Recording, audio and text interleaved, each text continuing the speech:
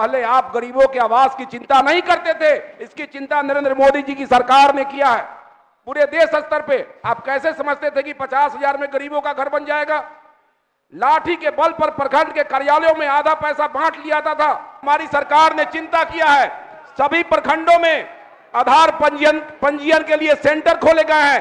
छूटे हुए जो लोग हैं वो प्रखंड स्तर पर जाके आधार में संशोधन करा सकते हैं आधार कार्ड बनवा सकते हैं। माननीय उपाध्यक्ष महोदय, माननीय मंत्री जी को मेरा एक सुझाव है कि ग्रामीण विकास मंत्रालय, भारत सरकार ने एक ग्यारह दो हज़ार इक्कीस को प्रत्येक राज्य के प्रधान सचिव को निर्देश दिया था किसी भी लाइन डिपार्टमेंट में डीआरडीए के कर्मियों का समायोजन किया जाए। मेरे क्षेत्र अंतर्गत ढाका में और घोड़ा सहन में नए प्रखंड सहंचल भवन का निर्माण नहीं हो सका है। हर हाल में, इसी वित्तीय वर्ष में ढाका और घोड़ा सहन में प्रखंड सहंचल भवन का निर्माण कराया जाए। सारी योजनाओं में लूट खसोट बढ़ता चला गया है। इस राज्य में हम लोग इस चीज़ को महसूस किए हैं। अध्यक्ष महोदय, क्या पता विपक्ष के लोगों को यह पता है कि नहीं है कि 2014 के पहले आवास योजना में मात्र पचास हज़ार रुपया तक आप देते थे। 15 जून 2015 के बाद से इस देश में गरीबों को डेढ़ लाख रुपया मिलना शुरू हुआ है। पहले आप गरीबों के आवास की चिंता नहीं करते थे इसकी चिंता नरेंद्र मोदी जी की सरकार ने किया है। पूरे देश स्तर पे। आप कैसे समझते थे कि पचास हज़ार में गरीबों का घर बन जाएगा? लाठी के बल पर प्रखंड के कार्यालयों में आधा पैसा बांट लिया था, था। नरेंद्र मोदी जी को चिंता थी।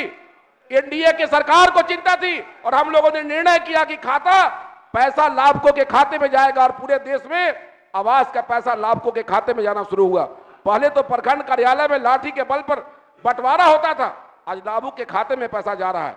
अध्यक्ष महोदय, माननीय मुख्यमंत्री जी ने चार कदम आगे बढ़ के निर्णय किया कि बिहार में अगर प्रधानमंत्री आवास से वंचित जो लोग रह गए होंगे, वैसे लोगों को मुख्यमंत्री आवास योजना के अंतर्गत एक लाख बीस हज़ार रुपया दिया जाएगा और वैसे लोगों को भी मुख्यमंत्री जी ने आवास उपलब्ध कराने का काम किया। एनडीए की सरकार ने जो छत बिछत आवास से, जर्जर आवास थे उसके मरम्मत के लिए पचास हज़ार रुपया देने का निर्णय किया।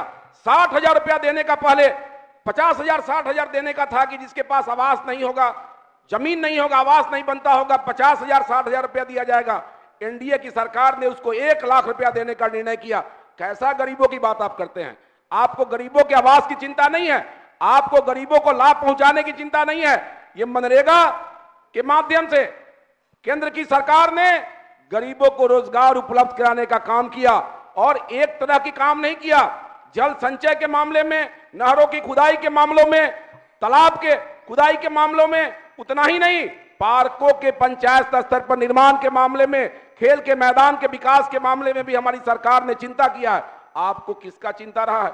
आप ले, आपने कभी चिंता नहीं किया?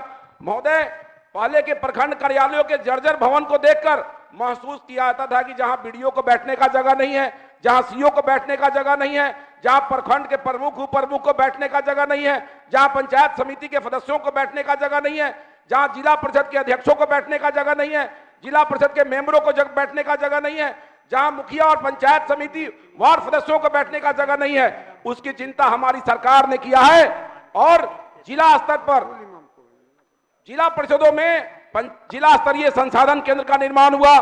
प्रखंड स्तर पे प्रखंड संसाधन केंद्र के लिए पैसा गया और पंचायत स्तर पे पंचायत सरकार भवनों का निर्माण हुआ। आज राज्य में 101 प्रखंडों में आईआरडीएफ परियोजना के अंतर्गत प्रखंड सूचना प्रौद्योगिकी केंद्र का निर्माण हुआ। उतना ही नहीं हुआ, बिरासी प्रखंडों में प्रखंड सह अंचल भवन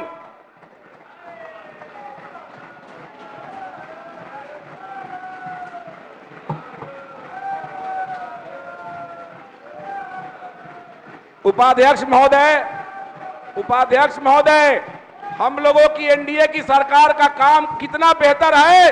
आज इस बात का प्रमाण है कि कांग्रेस के पूर्व मंत्री भी भारतीय जनता पार्टी के पक्ष में बैठ के एनडीए सरकार के पक्ष में बैठते हैं। इससे बड़ा प्रमाण क्या हो सकता है? विपक्ष के लोगों को प्रमाण देने की ज़रूरत नहीं है। आईने की तरह यह दिखता है सदन में। उपाध्यक्ष महोदय, बिरासी प्रखंडों में प्रखंड सह अंचल कार्यालय आवासीय भवन का निर्माण हुआ। एक सौ एक जगह प्रखंड सूचना प्रौद्योगिकी केंद्र का निर्माण हुआ। अध्यक्ष महोदय, हमारी सरकार ने चिंता किया है। सभी प्रखंडों में आधार पंजीयन पंजीयन के लिए सेंटर खोले गए हैं। छूटे हुए जो लोग हैं, वो प्रखंड स्तर पर जाके आधार में संशोधन करा सकते हैं, आधार कार्ड बनवा सकते हैं। अध्यक्ष महोदय, इनका किए हुए काम इनके द्वारा जो काम है, इनकी जो कुरीति है, उसको समाप्त करने के लिए हमारी सरकार ने लगातार प्रयास किया है। अध्यक्ष महोदय, पहले पंचायतों में केवल एक पंचायत सचिव हुआ करते थे, पूरे पंचायत को चलाते थे। हमारी सरकार ने इसका चिंता किया।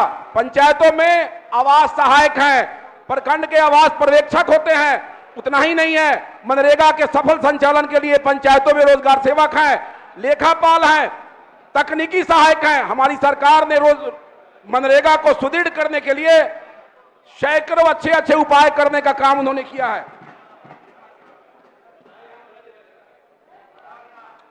उपाध्यक्ष महोदय उपाध्यक्ष महोदय, मेरा माननीय मंत्री जी से एक सुझाव होगा।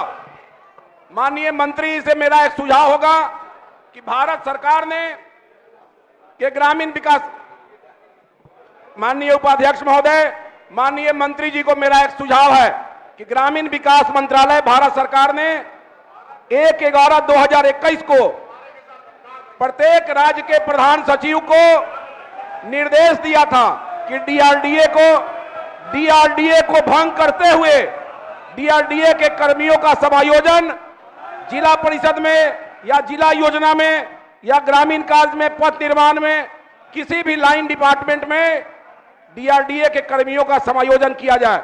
लेकिन मुझे नहीं मालूम किस कारणों से 2021 का ये आदेश है और ये आज तक लंबित पड़ा हुआ है। माननीय मंत्री से चाहेंगे कि डीआरडीए के अध्यक्ष भी जिला परिषद के अध्यक्ष होते हैं।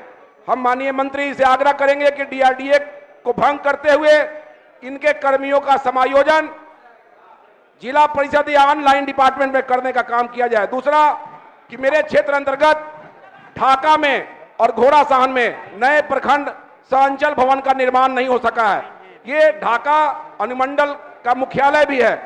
जिलाधिकारी का प्रतिवेदन है। हम माननीय मंत्री से आग्रह करेंगे कि इसी वित्तीय वर्ष में, हर हाल में, इसी वित्तीय वर्ष में ढाका और घोड़ा सहन में प्रखंड सहअंचल भवन का निर्माण कराया जाए। बहुत बहुत धन्यवाद। लाइव बिहार यूट्यूब पर सब्सक्राइब और फेसबुक पर लाइक ज़रूर करें।